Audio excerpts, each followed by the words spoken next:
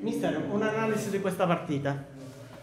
Ma io penso che abbiamo fatto una gara sia, sia la Lagragas che la Mazzarese, una delle partite più belle che abbia visto fino adesso, anche perché eh, anche per merito della Mazzarese che si è giocata la partita a viso aperto, soprattutto il secondo tempo, perché il primo tempo penso che l'Agragas ha fatto qualcosa in più rispetto alla Mazzarese, il secondo tempo è stato più equilibrato, la differenza l'ha fatta semplicemente che noi abbiamo fatto gol e loro hanno avuto quelle due palle dove le hanno, le hanno fallite, però c'è anche da dire che nel primo tempo abbiamo avuto due palle importanti, quindi si equivalgono diciamo così gli errori, però non per frase fatta e non per parole già dette, secondo me la Mazzarese è una delle squadre più forti che ho incontrato fino adesso. Si torna a vincere in trasferta, che valore ha questa vittoria, questi tre punti? No, ma tu già, tu già sai Davide che per me le partite sono tutte quante uguali.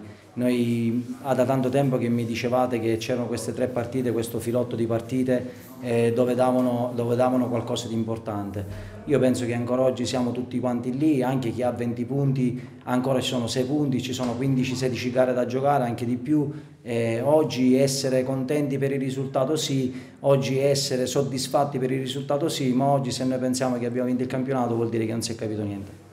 Adesso la Coppa Italia, mercoledì contro il Marineo in trasferta, poi la Parmonval all'Esseneto. Partita per partita, noi, domen- noi mercoledì abbiamo il Marineo.